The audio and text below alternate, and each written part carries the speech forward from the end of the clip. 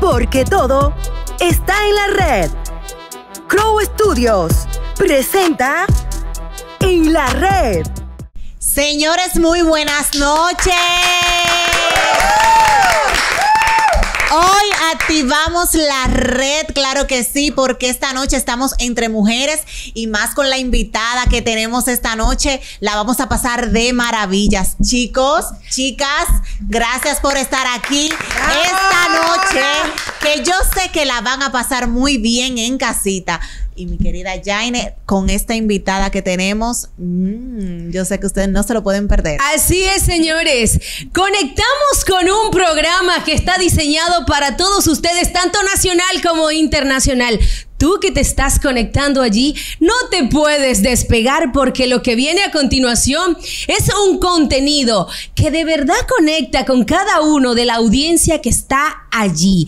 Nosotros tenemos para ustedes energía positiva, buena vibra.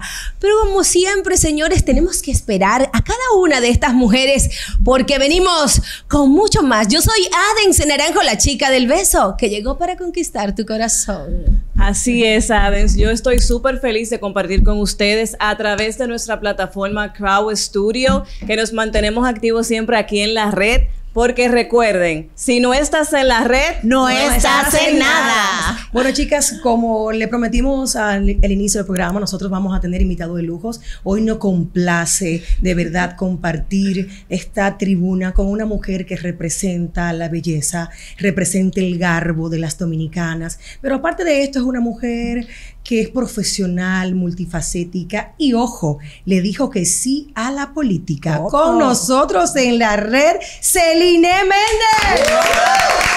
Bienvenida, qué gustazo. Un honor para cada una de las que estamos aquí. No, el honor es mío. Estoy muy contenta y honrada de estar en medio de tantas mujeres hermosas, pero preparadas y qué linda. Bienvenida.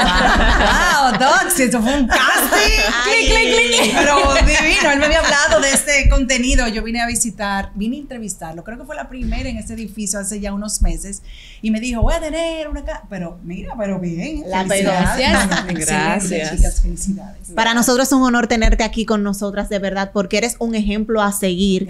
Para nosotras, las comunicadoras o presentadoras que estamos iniciando en este, en este medio. Y de verdad que compartir contigo en este, en este espacio para mí es algo muy importante. Ya hemos visto a una Celine en diferentes facetas y ahora vamos a hablar de la, con la Celine política. Gracias. Claro que sí. Bueno, señores, mire, Celinés, hemos visto como esa biografía antes de que comenzáramos el programa. Yo dije, yo quiero ser una Celinés cuando sea grande. Porque eh, realmente cuando tú no conoces algunas partes de tu trayectoria, tú admiras, pero no llega al punto de esa admiración con ese, con ese gardo, con esa energía. Y uno dice, wow, yo soy una persona que estoy comenzando en este país con mucho amor, con mucha pasión, tengo un motivo por qué seguir. Y una mujer como tú es un motivo de impulso y, de, y de decirle sí y por qué sí. Y comencemos pensando que ya hoy por hoy está pasando un fenómeno bien interesante en nuestra sociedad dominicana y es que muchas mujeres se están posesionando en varios partidos como mujeres de fuerza, como mujeres de poder, no solo por la política, sino porque ya tenemos el poder de hablar. ¿Por qué crees tú que Celinés, y hay que creer en esa propuesta de Celinés, la sociedad dominicana debe decirle sí a Celinés? Yo estoy muy agradecida y me siento muy contenta y le doy las gracias al Partido de la Fuerza del Pueblo por haber permitido eh, que mujeres y sobre todo a mi persona que nos dieron la oportunidad de estar en un cargo electivo. No fue una decisión eh, fácil de tomar porque cuando uno tiene ya una trayectoria en los medios de comunicación, eh, tanto delante y detrás de cámara, hacer un paso tan grande como este es un paso importante. Sin embargo, en esta ocasión, porque ya era como la tercera vez que la vida me lo traía, eh, me atreví a decir sí, sin pensarlo mucho, porque cuando nos ponemos a buscar eh, opiniones de terceras personas, que sí puedo, que no puedo, que tú crees, entonces, lo que no estamos seguros, porque cuando tú estás seguro de una decisión, pues tú simplemente ves la circunstancia y acepta. Y eso me había pasado anteriormente. Hace ya alrededor de más de 15 años tuve mi primera invitación a trabajar en política y fue con don Carlos Morales Troncoso, un gran ser humano, quien yo tuve el honor de trabajar con él en el Ministerio de Relaciones Exteriores. Y un día me dijo, Serine, ¿por qué tú te inscribes para que tú puedas optar por un cargo político dentro del partido? Y yo le dije, usted me está hablando a mí, don Carlos. Hay cosas que en la vida tú no te ves haciéndola. Yo le Que uno lo duda. Sí, usted Sí, es verdad. Pero sí, Celine, contigo que estoy hablando. Tú tienes todas las cualidades para poder. Y yo, bueno, don Carlos, honestamente, cuando fui a mi casa me quedé como el gusanito porque siempre me ha gustado la política. Y lo comenté, entonces obviamente viene la gente que no, que de esto, que allí, que el miedo. En el 2020 me ocurrió también, el doctor Leonel Fernández cuando estaba formando la Fuerza del Pueblo, el partido, yo estoy desde el inicio, formo parte de lo que es la, la parte de la dirección central y nos dijo también que si queríamos, yo quería participar y tuve dudas nuevamente. Entonces, pero estaba yo dije, ay, no, la tercera vencida. No, y, y recuerda que dice, tú dudando de tu potencial y otros temblando con eso, míralo ahí. Pero que el tiempo de Dios es perfecto. Quizás ahora es que tienes la potestad más preparada todavía. Tú sabes que nosotras eh, apostamos es a las mujeres porque somos las que tenemos que apoyarnos. y yo considero que ahora es tu momento, porque Muchas debajo del sol todo tiene su tiempo y el plan de Dios es perfecto. Amén. Mis hijas están grandes ya, mi hijo grande también. De hecho, estoy muy contenta porque me dio una idea maravillosa. Eh, sus amiguitos, que es su primer voto, entonces se inventaron. Ay, me encantó, me encantó, me encantó, la está en las Celine, redes. tu belleza de verdad que ha sido una belleza que ha trascendido. Tenemos Gracias. una, una Miss República Dominicana que por supuesto representó la mujer a, a nivel nacional e internacional, pero para nadie es un secreto que no se cumple el 50% en el 50%. Y ser bella también, eh, eh, pues representa un obstáculo. Eh, ¿Se ha encontrado esa Celine hermosa, algún obstáculo de algunos de los representantes del género pues masculino en esta contienda? Bueno, pues yo diría que el ser un- una mujer, vamos a decir, ahora que está tan de moda la palabra coquette, eh, aesthetic, Aesthetic. Eh, desde antes, eh, no solamente ahora, tal vez cuando la gente, y más si vienes de un concurso de belleza, la gente entiende que es solo para ponerte una corona, que tú no tienes neuronas. Exacto. Y eso se demuestra, pienso que con el día a día, cuando la gente te va conociendo, cuando va, va viendo tu habilidad en el trabajo, la única carta de representación que vamos a tener cada una de nosotras es nuestro trabajo, es lo que va a hablar por nosotras mismas. Y tal vez cuando llegado a un trabajo que la gente encuentra que, que uno va y que tal vez tú vas eh, arreglada, porque las mujeres somos co- co- coquetas, las Coqueta. dominicanas somos siempre coquetas, entonces dicen, bueno, esto, pero después, inclusive hay muchas veces que me dicen, ay, yo pensé que tú esto, allí, acá. Y pienso que con el tema masculino eh, me siento muy afortunada. Tengo que darle gracias a Dios porque en las áreas, no solamente de este nuevo trabajo, sino también de los otros que he tenido en mi vida, he encontrado siempre caballeros, personas que si me van a decir, aunque sea un piropo, me lo dicen de una Con manera, de, de una manera amable, bonita. No, y tener esa morena al lado, me imagino que para esos hombres, porque es que eres bella. Ay, o sea, eres bella. Gracias a ese público hermoso por mantenerse activo aquí en la red con nosotras, disfrutando de una belleza dominicana que es inspiración para muchos. Y en ese mismo orden, Celine, quiero hacerte una pregunta. Gracias. Tú sabes que siempre palabras. resaltan tu belleza, eh, es algo como que siempre te lo dicen, pero quizás, y te hago la pregunta por si tú lo viviste, en mi caso, yo viví mucho tema de autoestima y muchos miedos. Y muchas veces yo hablo de eso y me dicen, pero ¿por qué? Si tú eres bonita, eso no tiene nada que ver. Yo quiero saber si en tu crecimiento pasaste por algún proceso similar y tuviste que batallar con ciertas cosas para poder sentir la seguridad que quizás al día de hoy tienes. Te doy toda la razón. Yo estudié en el mismo colegio toda mi vida, desde kinder hasta cuarto de bachillerato. Y mm, era una chica normal, muy flaca, muy larga, con lentes, cabello largo, nada eh, fuera de lo común para mí. De hecho, nunca me sentí linda en el colegio, me sentía normal. Eh, sin embargo, yo sí tenía compañeras que eran como la sensación del bloque, pero también porque ellas lo sentían así y, y es lo que tú proyectas. Yo me sentía normal. De hecho, entro a los medios de comunicación porque cuando voy a la universidad eh, era muy tímida y no sabía, me daba miedo exponer en la clase. Entonces me voy a hacer un curso de oratoria, pero en ese curso de oratoria habían otras clases y eran una academia de modelaje que se llama John Casablancas de Tania Báez. Y luego me quedo formando parte de la academia. Pero sí, te doy toda la razón. De hecho, tal vez cuando ya me sentí atractiva, por decirlo de alguna manera, eh, pudo haber sido, qué sé yo, después de Miss República Dominicana. Y ni siquiera aquí, porque aquí no gané por negra. Cuando, eh, sí, hay mucho racismo. En, sí, así me, me, lo, me, lo, decía. Lo que pasa es que, eh, gracias a Dios, tengo como un padre y una madre que siempre me han aterrizado y, y esas cosas como que, nada, eh, yo lo sabía que, que, iba a ocurrir porque me lo dijeron. Y, y nada, eso a mí no me afectó. Yo tenía un semestre en la universidad que ya me había retirado y me invitaron a participar en un concurso en Alemania y luego el concurso que me correspondía y gané ese concurso en Alemania. Tal vez si hay un momento en que yo me pude haber sentido, wow, sí, soy una persona coqueta, fue cuando gané ese concurso en Alemania.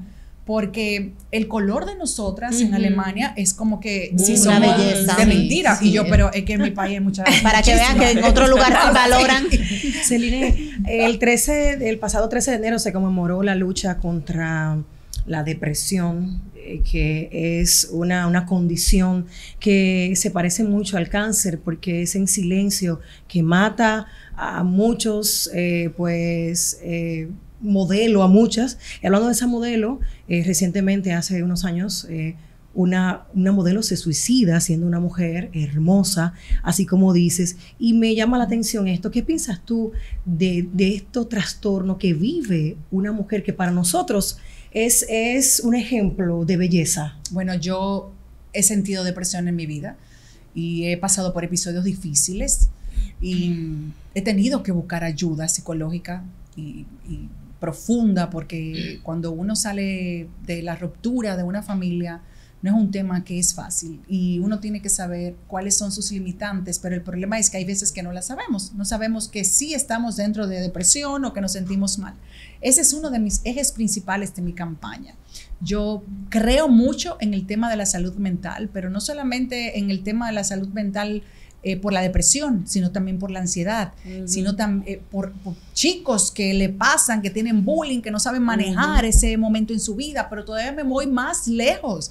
Ustedes se han preguntado muchas veces si nuestro cuerpo militar, los policías, en algún momento de su vida han sentido depresión. ¿Qué pasa? ¿Qué hace el Estado? ¿Qué hace el gobierno con esas personas? Si al contrario, yo tuve en, el, en, en mi programa hace pocos días una psiquiatra y me dijo, ella era militar, y me dijo, Celine, cuando alguien se atreve a decir o a tener eh, cerca de él que admitir que tiene problemas de, de salud mental, inmediatamente lo separan de las filas. Wow. Entonces, eso debe ser algo obligatorio, uh -huh. que constantemente debemos de estar dándole soporte uh -huh. a, a, nuestros militares, a nuestros policías, porque cualquiera en un momento determinado puede pasar por un proceso, por la pérdida de un familiar, uh -huh. por una situación en común. Y eso no quiere decir que te va a inhabilitar, pero también a cualquier persona, una mujer que tiene un hijo, puede tener una, de, una depresión postparto, un hombre porque,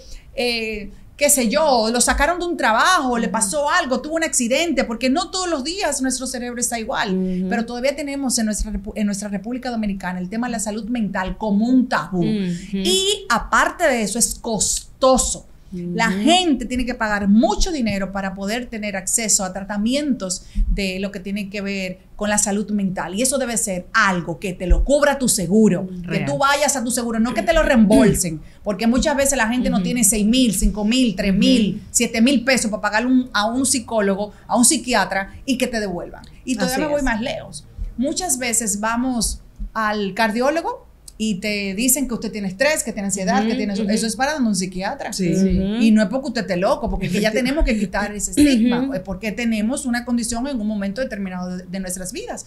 Pero qué bueno que lo podemos hacer preventivamente. Entonces, eso tenemos que ponerlo ya, que sea un acceso para cualquier persona, como usted va a su ginecólogo, como usted va al oftalmólogo, como usted va a cualquier doctor. Tenemos que normalizar que todos podamos tener un acceso común, de un acceso inmediato a algún profesional que tiene que ver eh, con la salud mental. A mí me impacta mucho, Celine, porque eso que tú dices en los policías que ejercen esa labor tan difícil, no nada más la persona policía, ese, ese, el público que está en esas manos, cuando no se está bien mentalmente, está en riesgo muchas personas. Y quizás, yéndome más profundo en lo que tú dices, quizás va a ese psicólogo no por depresión, por alguna situación y su mentalidad está todavía mucho mejor para hacer esa labor, que solucionaría muchísimas cosas, de verdad que sí. Así es, dentro de esa misma área, tú sabes, Celine, que estamos ahora mismo ejerciendo un compromiso con el micrófono.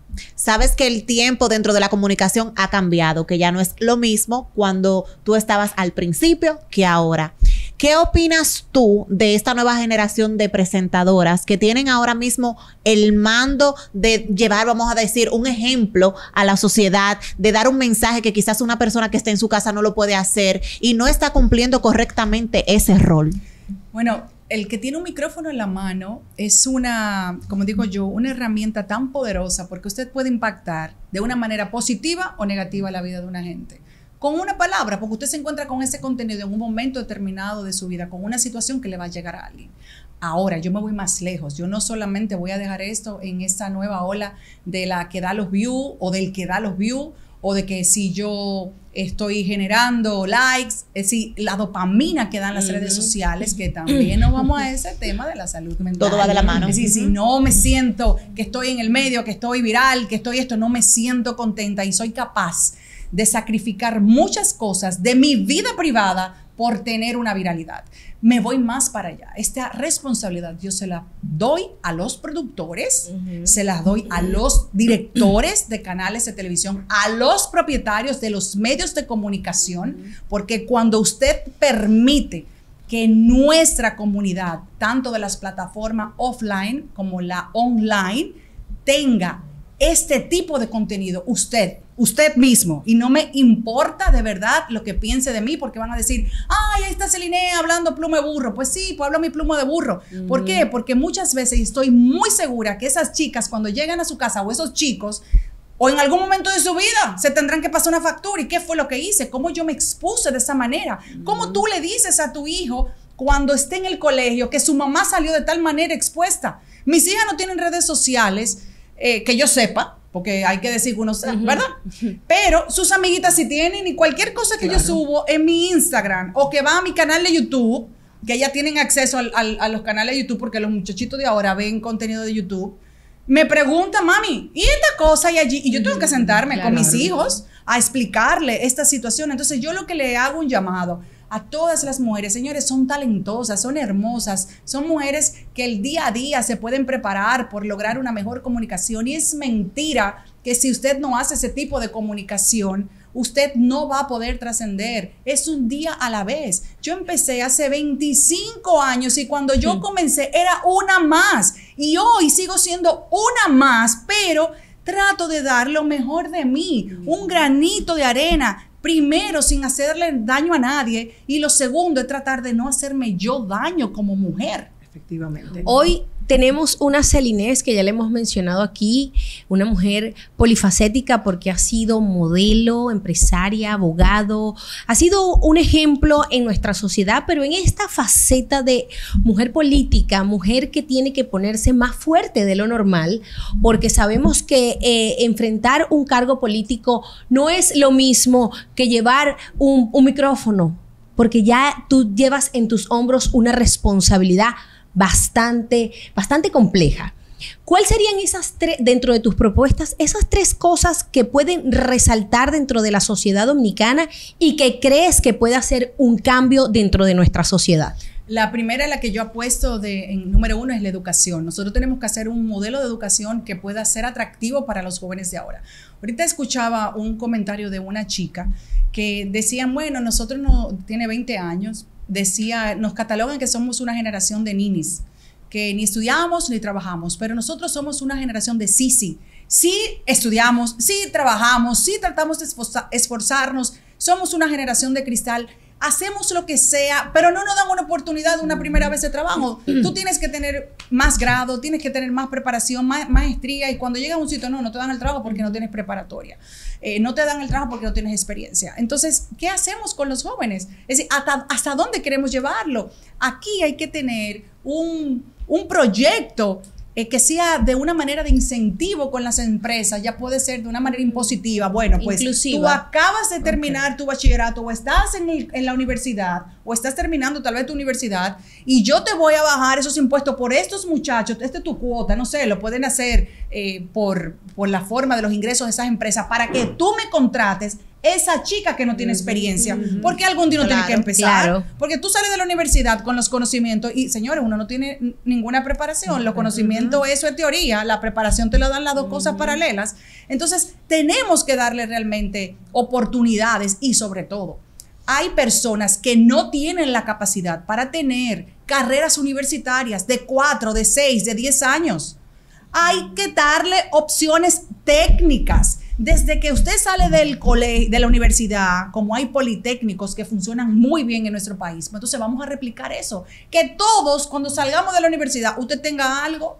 Que si yo no pude estudiar en la universidad, bueno, pero yo cogí dentro de las electivas que me pone la escuela o me pone el colegio, bueno, pues yo aprendí a hacer bicocho, bueno, pues puedo tener un negocio más adelante. O aprendí de las electivas eh, con el mismo, por ejemplo, Infotec, le pueden dar a, a ser eh, creativo digital o puedo ser cualquier, cualquiera de esas carreras técnicas que usted pueda aprender a hacer eh, eh, la- las cosas de finanzas, que puedas tener algún, todos tenemos que darle en esta época a los chicos educación eh, de lo que tiene que ver con las finanzas personales, porque qué mal manejo del dinero tiene, tenemos, no los jóvenes, tiene todo el mundo a nivel general, porque no saben administrarse. Entonces yo me enfoco 100% en lo que tiene que ver con la educación, porque de la educación tenemos que darle educación vial obligatoria. Total. Yo claro. entiendo Gracias. que desde tercero y cuarto de bachillerato tenemos que hacer conjuntamente con Red Vial un sistema de que los muchachos aprendan a manejar en tercero y cuarto de bachillerato.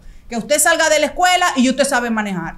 ¿Cuándo usted lo va a utilizar? Bueno, cuando lo necesite, cuando tenga su carro, cuando busque un trabajo. Pero no podemos seguir mandando gente para la calle, que yo conozco muchísimos que van y cogen un examen y no saben manejar y le dan su licencia. Sí. Pero lo pasaron, lo pasaron por chepa. Sin embargo, en Estados Unidos eso es una lucha. Tú te vas de aquí para vivir allá y tienes que sacar tu licencia allá. Y te quemas fácilmente tres veces y tú sabes conducir Y tú sabes aquí. Celine, un pequeño careíto antes de finalizar. Tengo unos nombres de figuras del arte y quiero que me lo definas con tres palabras. Ay, Dios mío, qué difícil. Frederick Martínez El Pachá. Creativo, impulsivo y un buen amigo.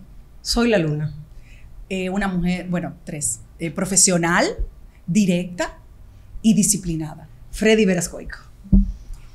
El ejemplo a seguir en este país. Me fui de más. Toxic Crow. Toxi, un gran ser humano, pero son tres palabras. Trabajador, eh, muy versátil y fiel a sus creencias. y Leonel Fernández. mi líder. Eh, bueno, que tres palabras, Dios mío, define el, el doctor. Un hombre eh, cree en la juventud, las mujeres y optimista. Bravo. Me pasé de- ¡Wow! Manera nosotros tenemos el agrado de tener a Celinés y todo este equipo. También se complace de haberte tenido aquí en casa, en nuestro estudio Toxic Crop. Gracias. Y una vez más, para todos ustedes, síganos en nuestras redes sociales como en, en la red oficial para todos ustedes. Y recuerden que si no estamos en la red, No, estamos en, en nada. nada. Hasta la próxima. Gracias. No somos un programa cualquiera. En la red llegó para quedarse. Somos la conjugación de belleza e intelecto. Las mejores noticias. Actualidad. Política. Farándula. Sociales e invitados de lujos. Porque todo está en la red. Crow Studios presenta En la red. Con nosotros, sus presentadoras oficiales. Isbeli Soto, Jainel Hungría, Adens Naranjo y Grace Reyes. Bienvenidos a En la Red. Recuerda que si no estás en la red, no estás en nada.